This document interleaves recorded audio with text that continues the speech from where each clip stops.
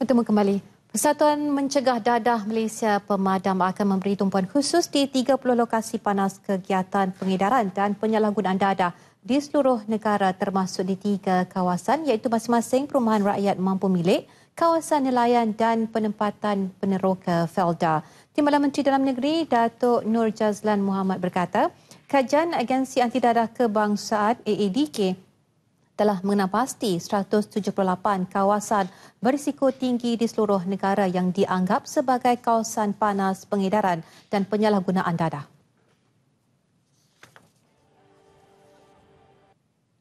Yang ada 178 hotspot tapi 30 tu kita akan fokus sebagai uh, tak kira lah sekolah, kawasan perumahan rakyat, kawasan Felda, kawasan uh, apa